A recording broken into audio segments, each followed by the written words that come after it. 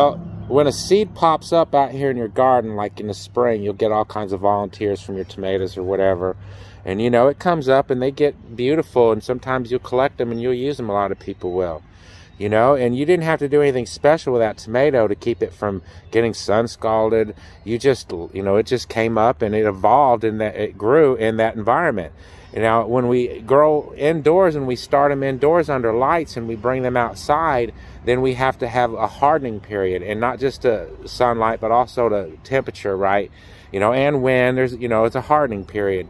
But if you start them outdoors, like you, like as if they popped up in nature, right, then you're going to avoid all that stress and worrying about it. So every opportunity you get, you get your your seedlings out into the natural sunlight as soon as they come up and you but you still be careful with them like you might want to leave them out you know for half a day or whatever and put them in in a, you know in a shady spot but you the point being is you want to minimize the stress of the adjustment period of going from artificial lights to the sunlight and if the seed just comes up out in nature you don't have to baby it do you so you want to use that principle with your seeds and as the season progresses and it gets warmer out, then I won't even be using lights at all. I'll start everything outdoors in direct sunlight and they'll never have to be baby.